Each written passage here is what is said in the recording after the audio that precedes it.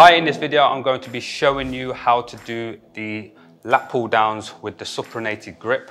Now this grip position allows you to be able to target more biceps and still lats but at the same time uh, you'll have more biceps engaged on this exercise.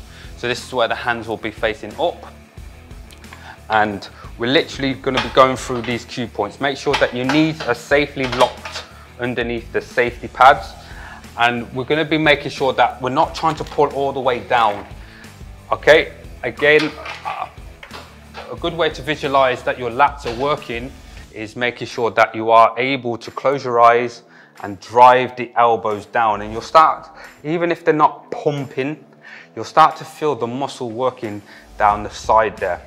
Now you're probably thinking what where to place your hands? Just make sure that your hands are in line with the elbows. That will or your shoulders instead of too close in. They're in line with the shoulders, which gives that room that they go past um, the body. So, as you can see, I'm going, the cue that I want you to think about, my knees are locked in. I want you to think about leaning back, keep your core engaged, and then we're gonna slowly guide past, past the rib, past the body into the rib cage.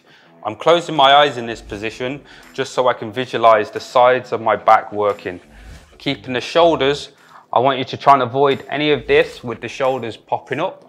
So keeping that nice relaxed state as we drive down past the body. Always thinking that it goes down in a straight line rather than going towards me in that position.